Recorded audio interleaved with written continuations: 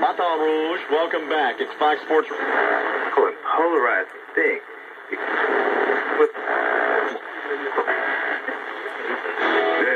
This is the Rusty Every Show. The Monica Crowley Show. Speaking just for me, because high cholesterol affects our whole body. Oh.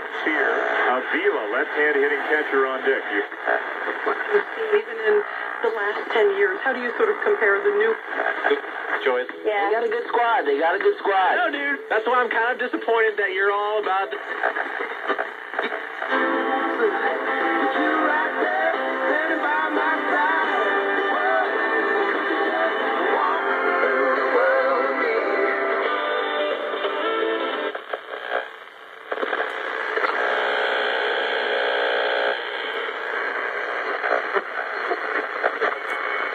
Average of 30% over gross.